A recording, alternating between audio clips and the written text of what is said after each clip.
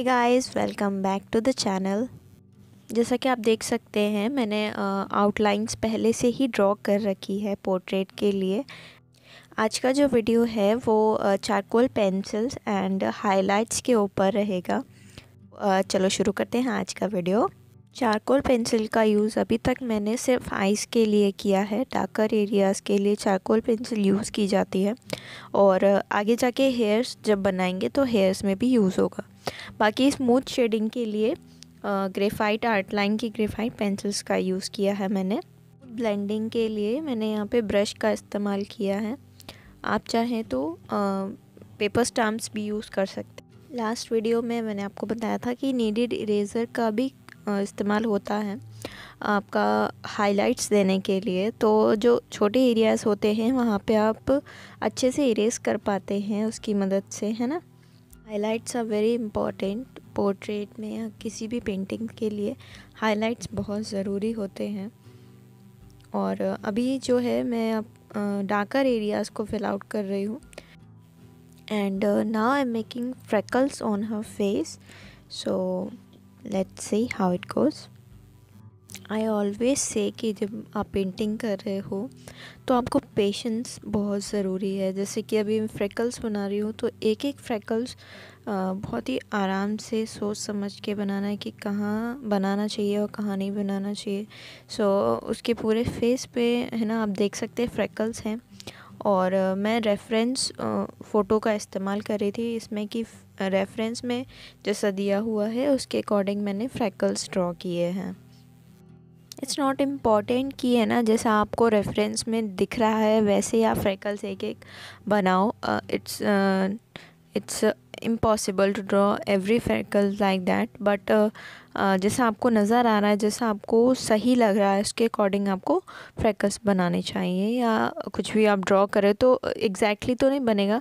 And now it's time for the hairs तो अभी मैंने चारकोल स्टिक से मैंने जो है लाइंस ड्रॉ करी है हेयर्स के लिए, गाइडलाइंस कि कहाँ से कहाँ तक आपके हेयर जाएँगे, उसके अकॉर्डिंग मैंने ड्रॉ किया एंड ब्रश आउट कर दिया है उस उस एरिया को।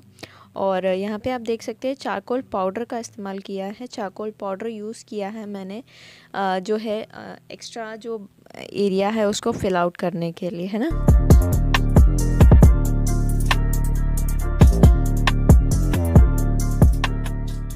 इसके बाद मैं यूज़ करने वाली हूँ नीडेड इरेज़र का हाइलाइट्स के लिए।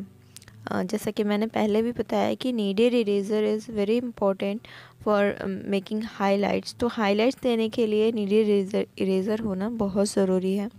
और या फिर नीडेड इरेज़र नहीं है आपके पास में तो टोम्बो मोनो इरेज़र का भी इस्तेमाल कर सकते हैं, क्योंकि टोम्बो मोनो इरेज़र कॉस्टली पड़ती है, इसलिए kneaded eraser it's really cheap option for you है ना?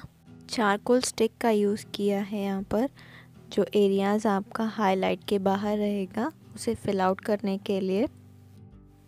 Take your time for doing this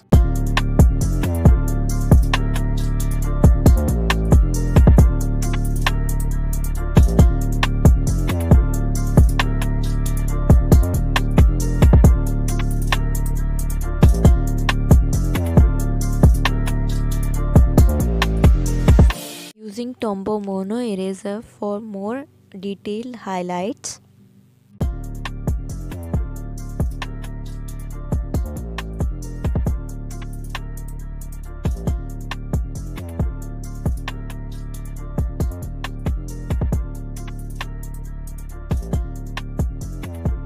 You are a beginner so जो रेफरेंस फ़ोटो होता है आपका, या तो आप फ़ोन से बनाएँगे, या तो आप उसका प्रिंट आउट निकलवा लीजिए तो it's better for you so आप देख सकते हैं उसमें कि, है ना, कहाँ पे आपको हाइलाइट्स देनी है, कहाँ पे आपको डार्क एरियाज़ देने हैं, है ना? तो बहुत ज़रूरी है एक रेफरेंस पिक्चर का होना, है ना?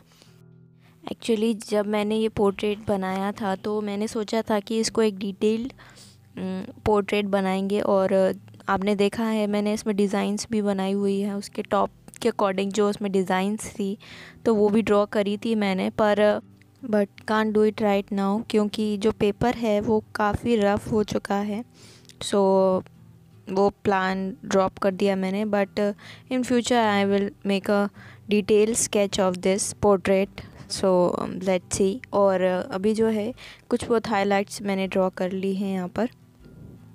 जो रह गई थी तो ये थी आज की वीडियो। और वीडियो अगर पसंद आई हो तो लाइक कर दीजिएगा। एंड अगर आप मेरे चैनल पर नए हैं सब्सक्राइब करे बिना बिल्कुल मत जाइएगा। सो so, मैं आपको मिलती हूँ नेक्स्ट वीडियो में। और नेक्स्ट पोर्ट्रेट के साथ। सो so, तब तक के लिए bye bye take care and get inspired.